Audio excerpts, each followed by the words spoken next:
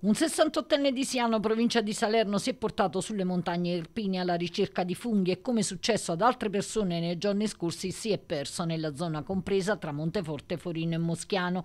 Lanciato l'allarme, i vigili del fuoco di Avellino si sono attivati con squadre terrestri per la ricerca e una volta individuato l'uomo è stato effettuato il recupero con l'elicottero del nucleo regionale di Ponte Cagnano che ha trasferito l'uomo presso il campo sportivo di Forino dove è stato sottoposto a controlli medici.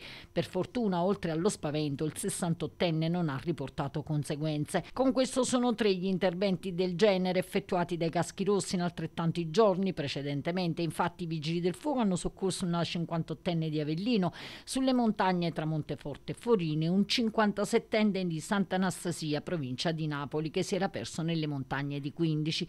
Per fortuna per nessuna di queste tre persone ci sono stati gravi conseguenze. In questo periodo sono sempre più frequenti le disavventure in montagna perché chi si reca in cerca di funghi, le persone con troppa leggerezza si incamminano tra la vegetazione senza avere un giusto equipaggiamento, a cominciare dalle scarpe che spesso sono causa di caduti, a volte anche senza telefonino, comportamenti assolutamente da evitare per salvaguardare la propria incolumità.